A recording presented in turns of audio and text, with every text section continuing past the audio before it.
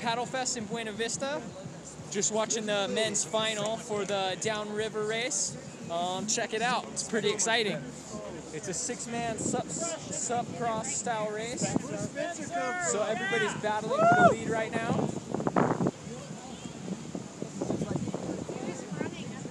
It's any man's game. Doesn't matter who's in the lead. Who has the best line, who has the best river control. So it's really fun to watch.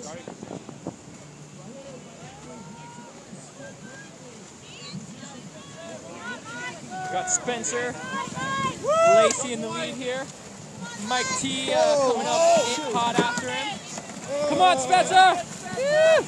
Got Taylor Robertson, Nick Trout, Dan Gavere, battling it out here. Oh my God! Look at the carnage! Look at the carnage! Oh my God!